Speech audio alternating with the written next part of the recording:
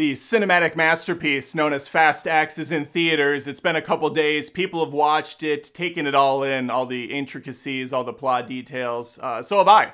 And I'm here to spoil it today, so hop in the car and join me as we talk about Fast X. And let's ride. And let's ride.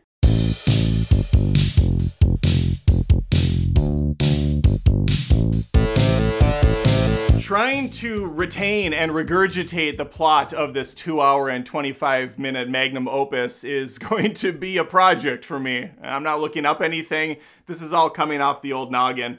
I have to say, by the end of the film, my brain was pretty much a, a, a, mush, a paste on the floor that I had to scoop into a bowl and later pour back in through the ear. It was a painful process, but watching the movie kind of can be too. Now, I will say, my review of Fast X is out. I didn't really say, I don't think, whether I loved or hated it, and that's kind of where I stand. I don't love or hate it. it. I'm indifferent. It's there. I watched it, I had some enjoyment, and I don't need to ever think about it again outside of this conversation we're having. I believe the movie starts up with a flashback to Fast Five. And I'm not sure if it's new footage or if it's a combination of old and new or what they did. But Brian O'Connor's in the mix. Paul Walker, uh, I don't have anything to. We can fictitiously pour one out again for him. It's been a long day without you, my friend he and Dom are doing that big vault heist where they rip the thing out of the wall, drive it down the road, kill a bunch of innocent people. Everybody laughs, high fives, and we make a bunch more of these movies. But what we didn't, or they didn't know at the time, was Dante was there, the son of the man they ripped off and killed. He wants revenge, he wants justice for the unjust stuff they did to him. So he's gonna spend the next four Fast and the Furious movies hatching up a plan that he can unleash in the 10th. And the plan is pain. It's suffering. He wants to bring hellfire down on these people at all costs. And not only did he prepare a one, two, or three step plan, he prepared a 55 step plan because he's always way ahead of these car bros. He knows what they're going to do, which road they're going to turn down, how they're going to take out helicopters, and which Hoover Dam they're going to drive to. I mean, there's only one. Maybe not in the fast world, but he also got his hands on a lot of these magnet bombs he uses. They're straight out of a video game. He'll be on his motorcycle, cars next to him, and he pulls out one of these bombs like he's Wile E. Coyote. Sticks underneath the thing. He looks over. Boom. The car blows up. He's fine. Just drives off. Has to make his way up to a hill though, so that he can do this. Anytime something happens, he's up here. Let's ride. Let's ride. He does the cross pose 15 times in the movie, and that's really the other thing this is about. It's about faith because these characters have faith. They wear crosses, they have nice family dinners, they pray to their car god above. And if you're like Dom, you raise your son to be a cold blooded murderer who drives really fast and unhooks bombs so that his uncle can blow people up, killing them, and he can sit and laugh gleefully, thinking, I can't wait till I'm my dad's age and I've killed over thousands of people. Let's ride. Staying on topic though, after the Fast Five introduction where we see Dante and how he's very mad, he's a mad guy, we then go, I believe, to a nice little family meal, nice little picnic in the backyard, which is where all these movies begin and end. Every single one of them now. I don't know which one I'm watching based on the family dinner scene. I think Mia was there. Is that how you say her name? Mia or Maya? Uh, Brian's wife Mia's at the family dinner. Brian's not. Guess he wasn't invited. Because they didn't kill him off. To my recollection, he's still on that beach, kind of just wandering around to and fro. Family's having a meal. He's just off yonder. He doesn't want to ever see these people again, apparently. But yeah, they could have at least said Brian's taking a shit inside or something. No, he's just gone. It's been a long day without you, my friend. We then have Roman, Tej, and Ramsey. They're gonna be up to all sorts of shenanigans this whole movie. Ramsey's not only a genius and a smoke show, she's also a car buff now. She's educated herself in between films. She's got knowledge about uh, about vehicles. It's kind of cool. I know nothing about vehicles. Clearly, that's why I'm not really like a huge fan of these movies. Don't hate them. Just think they're stupid. Tej, or as I will always refer to him, Luda. He is always fighting with Roman He's always putting him down a peg. And Roman really wants to be the Dom now of the franchise in this family. He wants to take the wheel of the car and he wants to see where he can drive it. And he's going to get that opportunity because when in Roman, you go to Rome. And that's where they're headed on their mission impossible. We don't really know why they're going, it doesn't matter because it's a setup by Dante. He puts some of our people in a very precarious situation. They're going to be driving a giant truck, but in the back of it, a giant bomb that can roll. And this thing rolls. This thing rolls harder than Fred Durst in a Limp Bizkit song. I know you've been loving this shit right here. Keep rolling, rolling, rolling, rolling. What? Thankfully, Dom and Letty figured things out that this wasn't on the up and up. They head to Rome as well, and they knew exactly where to find the team. I don't know how. It doesn't matter. They probably have tracking devices or he picked up the phone and called him, but they got their lickety split. Letty's on her motorcycle. And she's chasing after this bomb now that's been unleashed, uncaged from its container, rolling down the streets of Rome, breaking shit here and there. Dom, now one with his car, he's a transformer can just move to the left and the car will flip sideways, which he does several times to block explosions from killing people that are eating. Like, How's your steak? Oh, it's a little. Oh my God! Bomb! Dominic flips it sideways, takes on the fire, and then drives back down. Let's ride. Michelle Rodriguez is Letty, unsure how she's gonna stop the bomb, just knows she has to be right next to it on a motorcycle. I guess maybe she thinks she can just grab it and pull it because at this point they're all superheroes, so fuck it. She's driving after it, does my favorite stunt in the movie where there's a little ledge. She has to bunny hop over, go sideways, and back again. It's really cool. I liked it. I think it's CG. Either way, it was it looked good. And I guess that's a testament to the effects in this movie, but also not. Because nothing looks real or seems plausible, so everything all has the same kind of cohesive look, which is cartoon. This ball never stops rolling, it's the Energizer bomb. This scene goes on for a half hour, I swear. It's pretty epic. It's pretty awesome. And it's completely nonsensical. Donatello does the thing that we all know to do when there's a bomb rolling towards the Vatican. You look for a makeshift ramp, you jump off of it, spin the car in midair, cold cock the side of a crane that's conveniently set up, spinning that around. It hits the bomb, changes the trajectory, it blows off the bridge into the water, blows up down there, which triggers another event, which unspools the latch, dropping it down, and that's Mousetrap. Dante, during this whole section, had gotten off his bike, climbed the tallest nearby hill, and is just doing this because the bomb still blows, baby. And Diesel, has to haul ass out of there. Dom doing what he always does, twist the nos. Cars are flying up. It's like he's outrunning a tornado. Let's ride. And thankfully, he makes it. The car's still working fine. And that's good because we got a lot of movie left. I believe it's around this point where Brie Larson enters the picture along with this total gym bro body workout guy he this guy's huge. He's completely unnatural. absolutely jealous by his physique and how he fits through doorways is unimaginable at this point. They're in clearly a green screen fake room. There's nothing to it. It's it's pretty much grays and a a, a black floor with some lights, some neon lights around the side, like they're about to stream on Twitch, and floating panels everywhere. These TV monitors that I swore was just going to be used in the trailer, but nope, it's actually in the movie because, of course, it is. This futuristic room has the crystal ball equivalent of TVs set up. They can go back in time, see what happened in the past. I guess there was footage of all the street racing going on in the first movie of the hijacking in some of them, of the surfing on the semi truck in the middle of fucking nowhere. This was all caught on different surveillance drones and, and cameras. High def, too, at that. 4K visuals and surround. Very impressive stuff. So they know what they're dealing with. They know who they're up against. This crew that seemingly is on the right side of the law now, but used to be on the wrong side of the tracks might have turncoated, or maybe they were flipped the whole time. They were using this shadow government known as agency, Yep, these are deep films, to just get what they wanted, enrich themselves.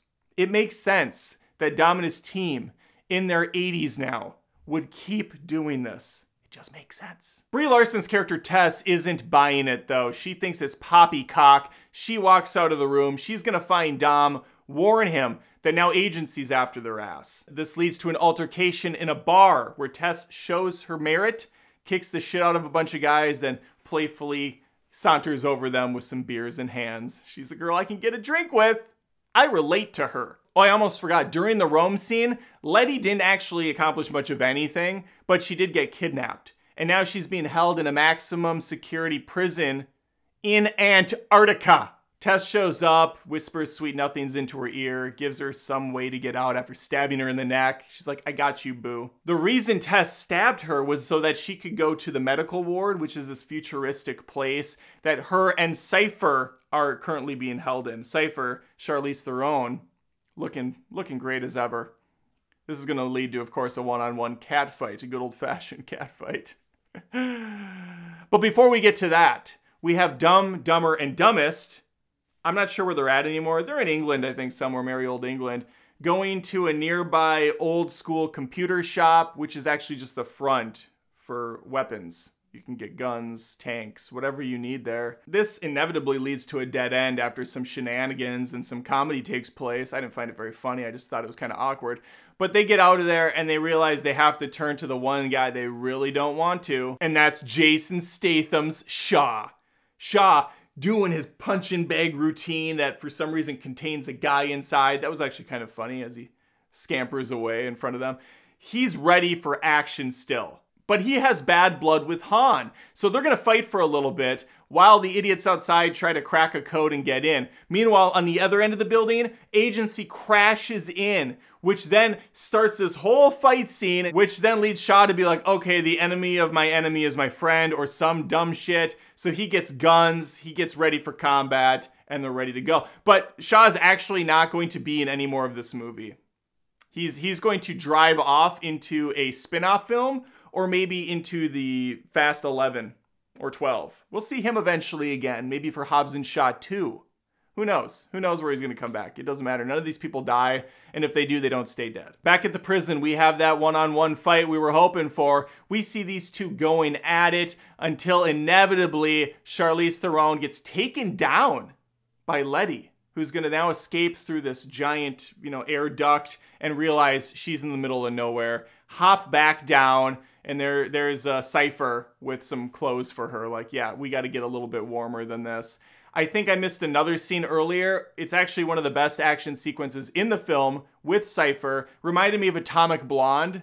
That was a great movie, by the way. Charlize Theron is an awesome action star. She really does fit well in these films, even though she's clearly a far better actress than the rest of them. I'd say the same goes for Brie, but Brie in this movie does feel out of place her acting level is a bit too good when she's communicating with these people. She needs to get dumbed down. She needs to ham it up more. Right now, she's a bit too serious in the role. But anyway, Dante infiltrates her compound, doing one of these, of course, walks in, and then he reveals that he has the upper hand here because all of her men have had their kids or loved ones captured by Dante somehow.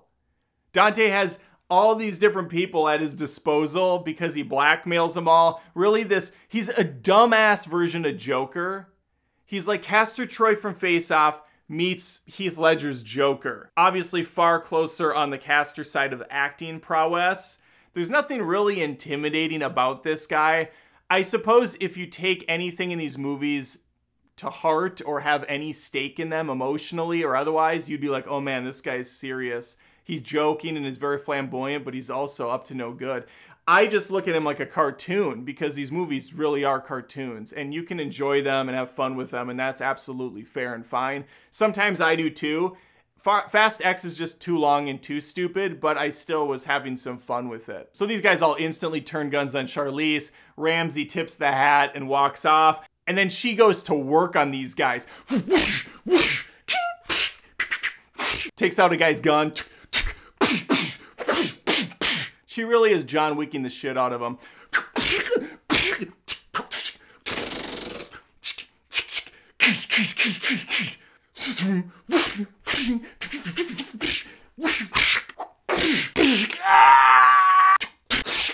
That's when she shows up at Dom's place, beaten, battered, and bruised. He wants to kill this bitch, but he sides with her because he realizes there's bigger stakes. This is when he contacts the family and says they need to go to their super secret hideout. And the rest of the movie is going to be about them trying to get to the hideout, but always getting sidetracked because they all have ADD.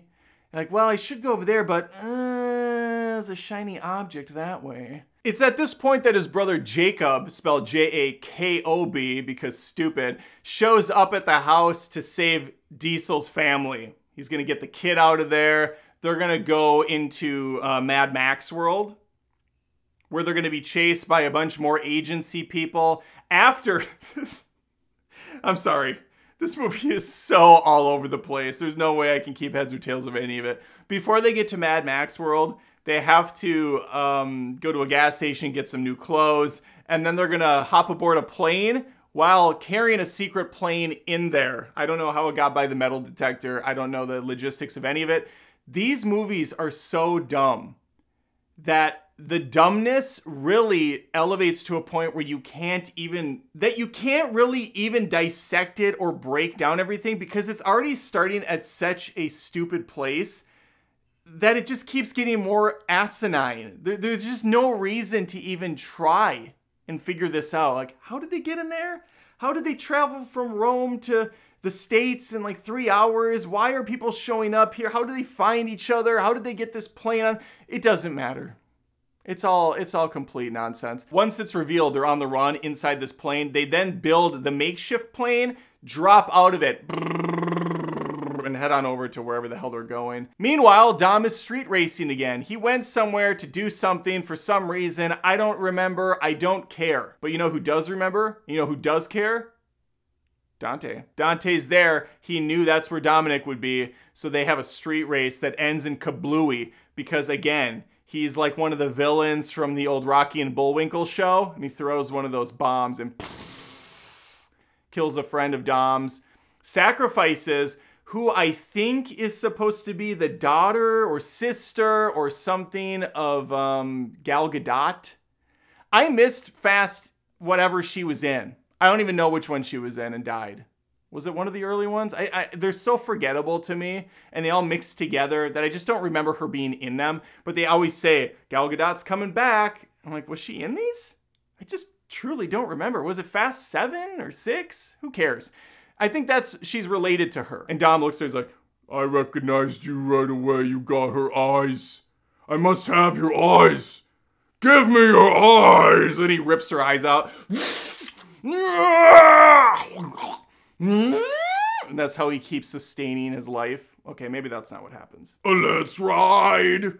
Dom says goodbye to her, but before he does, she's like, I'll see you in a future movie. I'm part of this now. Or maybe a Fast and the Furious TV show, which will inevitably happen. This will never end. It will, it will just go on until the humans are killed off by our own hands. At the hands of Fast and the Furious. All right, at some point, Dom meets up with his brother Jake Cub and his son, his little Dom Cub. And they're on the highway, and this is where things just go freaking insane. Brie Larson's character shows up, Dante's there. How do you like me now? Dom lifts a fucking car.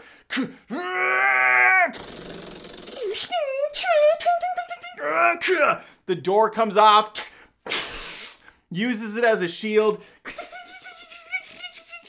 Family! Family! Family!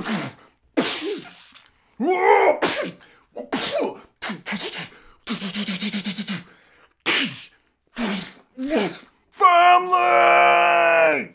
Brie Larson's character Tess is shot. She's not gonna die. She's gonna be back for a future ride film. She heads off though for for this movie. She's done. Dante's like, "I'll get you next time." Let's ride. Gets in a chopper. Wipe out. So Jacob and his son are being pursued. Dom is driving after him. He's like, I gotta catch up. How do I catch up to them? Oh yeah. Turns the nos. Drives over the side of a, a road onto another road. Helicopters spear hook him. Wait, I'll do the NOS again. Does the NOS, pulls the helicopters in. Jacob has Dom's son still in the passenger seat. He's like, Don't worry, Dom. I got your son. I'll guard him with my life. Nothing will happen to him. You can trust me on this. Hey, Dom, Dante just stole your son. Yeah, yeah, I know. Crazy. Right out of the car. Just pulled him right out of the window. It's wild. I don't know what I was thinking on that. So the son's now with Dante. Dom has to get him back. I genuinely don't remember how he does truly don't remember how how Dante gets taken out here and Dom gets the son back. Somehow Dom does get his son back. Oh, I think he jumps from one car to the other. These cars are going 90 miles an hour at least. And the son just jumps. Dom's like, come on. Let's ride. Then Dom veers off course, ends up on the Hoover Dam somehow and there's two semis already there waiting for him. And Dante's again back on a giant hill. That's all he does is stand on hills. And he has a remote control thing, and the semis are he can control the semis.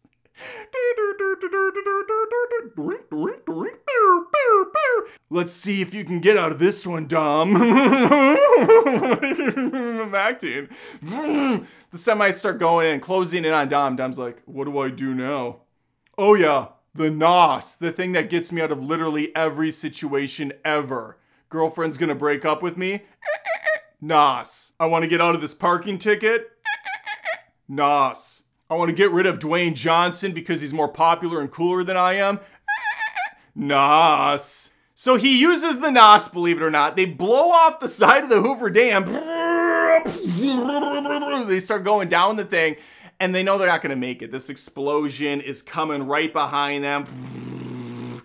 But Dom's like now completely fused with this car. He puts even more NOS in the camera does the thing it did from the old school Fast and the Furious movies. It goes inside the muffler and through the engine. And the car goes Super Saiyan. I shit you not. This thing's like.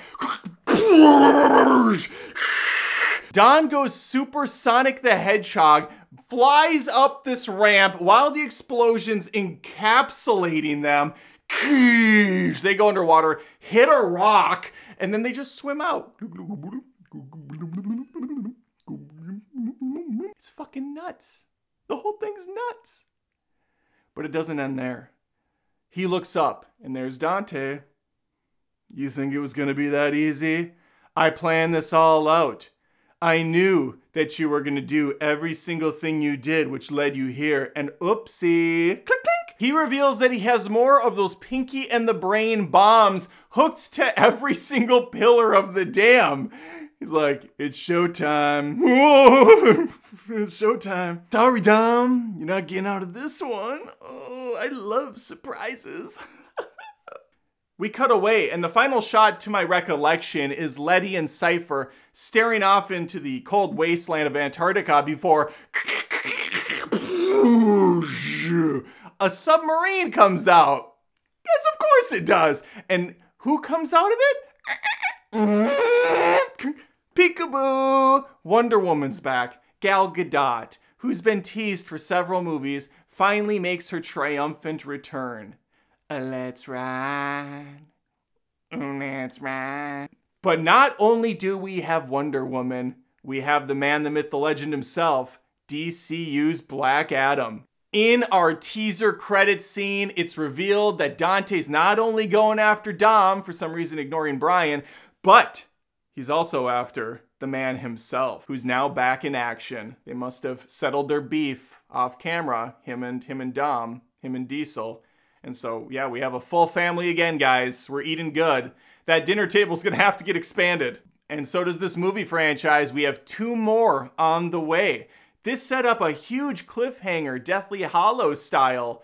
Now Dante has the Elder Wand, known as Dom, under his control. He's gonna blow this thing up and kill him, or is Dom gonna be able to get out because he realized, oh yeah, my car also works underwater, and he's just gonna drive inside the body of a shark and let the shark swim him to freedom? Sadly, I could see it happening. These movies have become parodies, cartoon characters, and people seem to like them.